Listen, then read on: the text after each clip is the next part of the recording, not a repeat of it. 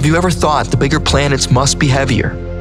If so, think again. Let's dive straight into ranking our solar system's planets, from least dense to most dense, uncovering some surprises along the way. Starting off, we have Saturn. Despite its massive size, Saturn is the least dense planet, with a density of just 0.687 grams per cubic centimeter, or 0.397 ounces per cubic inch. Fun fact if you could find a bathtub big enough, Saturn would float since its density is less than water. Its composition? Mostly hydrogen and helium, the lightest elements in the universe. Next up is Uranus, with a density of 1.270 grams per cubic centimeter, or 0.734 ounces per cubic inch. This ice giant is filled with churning volatile substances like water, methane, and ammonia, what astronomers call ices. Meet Jupiter, the largest planet in our solar system.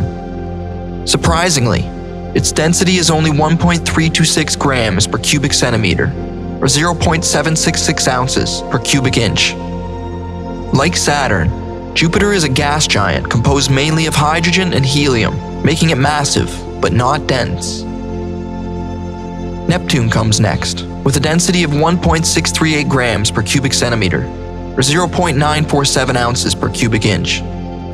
This distant world is denser due to a higher concentration of ices, similar to Uranus, and heavier elements beneath its atmosphere. Now we venture to Mars. With a density of 3.9335 grams per cubic centimeter, or 2.275 ounces per cubic inch, the red planet starts our journey into the rocky realms. Its composition?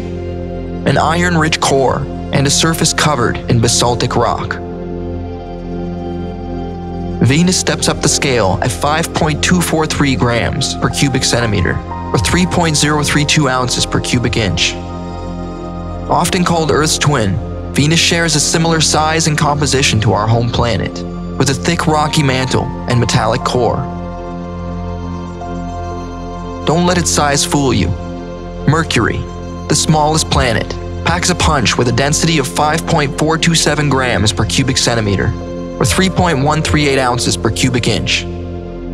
This tiny planet has a massive iron core, making up about 85% of its radius. Finally, Earth tops the chart as the most dense planet at 5.51 grams per cubic centimeter, or 3.187 ounces per cubic inch. Our home is a complex blend of a solid iron core, liquid outer core, mantle, and crust, layers that all contribute to its high density. So, what's the deal? Why are the smaller planets denser and closer to the Sun? It all comes down to the planet's formation in the early solar system. When our solar system was forming, the intense heat and solar winds from the young sun pushed lighter elements like hydrogen and helium away from the inner regions. However, heavier elements like iron, nickel, and silicon could withstand the scorching temperatures, leading to the formation of the dense, rocky terrestrial planets close to the Sun. Further out, cooler temperatures allowed lighter gases to accumulate, giving rise to the gas giants Jupiter, Saturn, Uranus, and Neptune.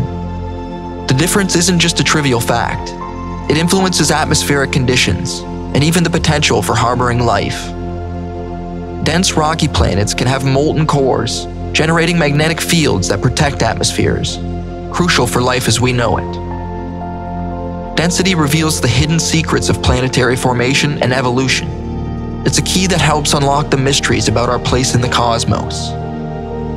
Diving deeper, scientists use planetary density to hypothesize about exoplanets orbiting distant stars. When they detect a planet in another solar system, its density helps them guess whether it's rocky like Earth or composed of ice and gas like Neptune a crucial step in the search for extraterrestrial life. Remember, in space, things aren't always as they seem.